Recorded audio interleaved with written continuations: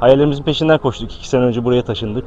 Tesisimizi İncirova'ya kazandırdığımızdan, Erbeyli'ye böyle bir tesis kazandırdığımızdan çok mutluyuz. Tesis 2000 yılında tamamlandı babam tarafından. Babam e, Kuşadası'nda da mekan işleten birisiydi. Burayı 2000 yılında açmak istiyordu bu tesisi ama hem ekonomik kriz hem sağlık sebepleri dolayısıyla bir türlü tesisimizi tamamlayamadık, kazandıramadık.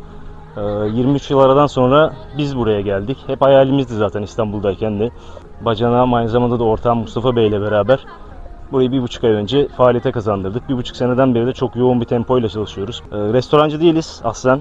Bu sektörü de bilmiyoruz. Biz de işi öğreniyoruz açıkçası. Ben mühendisim, ortağım e, kamera ve güvenlik işinden geliyor. Aydın'ın İncirlova ilçesi Erbeyli mahallesinde yöre insanı tarafından koca bahçe olarak bilinen bu topraklar artık Aydınlıların hizmetinde. Koca bahçe sunduğu hizmetlerle de öne çıkıyor. Güven buranın huzur dolu bir ortam olduğunu ve çeşitli konaklama imkanları sağladığını belirtiyor. Kocabaşçı'da önce e, huzur bulabilirsiniz. Sessiz, sakin. Burada havuza girebilirsiniz. Sabah dolu dolu güzel bir serpme kahvaltı yapabilirsiniz. Ondan sonra çok güzel atıştırmalıklarımız var.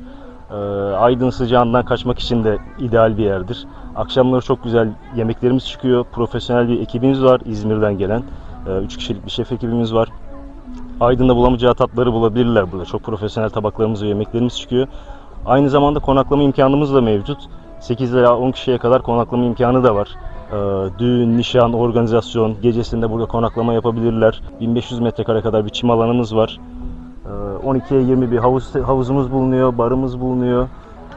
Bu tesislerin hepsini kullanabilir misafirlerimiz. Menüdeki özel lezzetler de dikkat çekici. Farklı olarak neler var ben onu söyleyeyim size. Ee, burada pek yapılmayan. Dana bodigomuz var. Dana kaburgamız var. Burada pek yapılmayan. Ee, ondan sonra çıtır karides tabaklarımız var. Salatalarımız var. Bonfileli, tavuklu, tavuk şişimiz hepsi birbirinden güzeldir. Tatlı olarak buralara pek çıkmayan krem brûlée, çikolatalı suflemiz, e, cheesecake'lerimiz, San Sebastian tatlarımız var. Özel salatalarımız mevcut. Şimdi pizza yapmaya da başladık. Pizzalarımız da çıkıyor. Misafirlerimiz gelip tadabilirler pizzalarımızı burada farklı olarak. Koca bahçenin bir de tarihi dokusu bulunuyor. Alp Güven bu topraklarda 5. ya da 6. nesil olduklarını ve köylülerin verdiği ismi devam ettirdiklerini vurguluyor.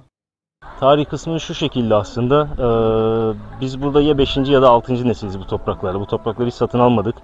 Ee, hep atalarımızdan bize devir oldu. Neredeyse Osmanlı'dan beri hep devir olarak bize gelen bir topraklar. Ee, babam işte burada bir tesis açmaya çalıştı. O tamamlayamadı. Biz iki sene önce gelerek burada bir faaliyete başladık. Ee, çalışmalara başladık. Burası çok eskiden beri çok büyük bir arazi. 250 dönüm kadar bir araziydi. Ve buranın köylüleri buraya hep Kocabahçe, Kocabahçe çok büyük bir arazi olduğu için e, Kocabahçe diye tanımlamışlar. Biz de buraya bir isim vermeye gerek duymadık.